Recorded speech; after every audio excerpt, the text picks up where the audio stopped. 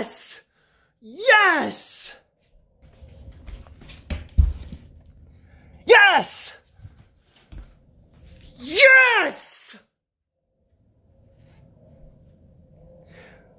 Best decision Doug Pederson has ever made for this team. Still deserves to get fired at the end of the season. So do you, Howie. But the sun has shone on the city of brotherly love. Carson Wentz is benched. Benched. All you Carson Wentz nut huggers that are left out there, your boy is benched for a rookie quarterback.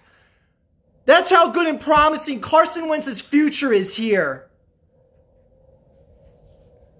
We can't bench I didn't listen to all that shit from you guys. We can't bench Carson Wentz with the contract. It's not his contract. He's not getting benched. Shut up! He's benched. It's done. And what's going to piss me off is there's going to be people rooting against Jalen Hurts right now because their great white hope and Christian, oh, excuse me, his name should be Christian Wentz, Carson Wentz got benched. And I'm not taking joy in this. It's just the right decision to be made. I'm not rooting against Carson Wentz. I don't want to see him dwindle into nothing, but he does not deserve to be the starting quarterback here. Period.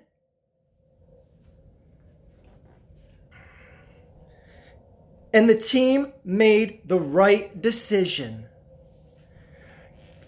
Let's see what Jalen Hurts can do. Let's see what he can do. Because it doesn't have to be much to be better than what Carson Wentz was giving you this year. Yes!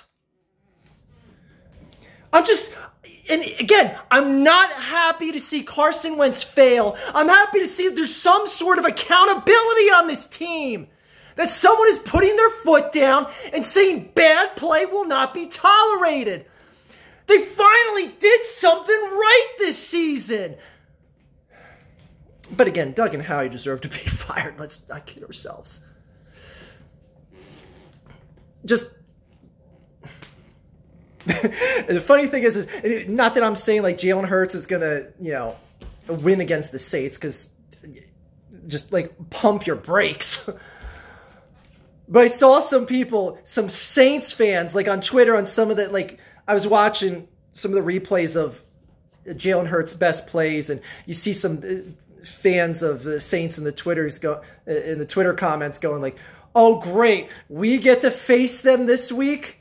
We get to face the team that's going to put Jalen Hurts in." See, guys, guys were a little bit nervous. Not that, you, let's be real, not that not, not Jalen Hurts is going to come into New Orleans and carve you up. But I would be upset if I was a New Orleans fan, I'd be upset because facing Carson Wentz, that, that, that's a great tune-up game to get your guys looking sharp and blow the Eagles out of the water. Now it's just like you have less of a chance of really blowing them out of the water now, and it's it's a little bit upsetting. So. I don't know. I take a little bit of enjoyment in that, knowing that Saints fans would rather have Carson Wentz on the field and that that's taken away from them. But again, let's be real. New Orleans is going to win that game. But I don't care. Wow! $30 million plus man, ride the bench. He's going to have to sit there and watch a backup do his job for him again. Thank you, Doug. You, you did something right this season. That was the right decision to make, and you did it. Good on you. That is all.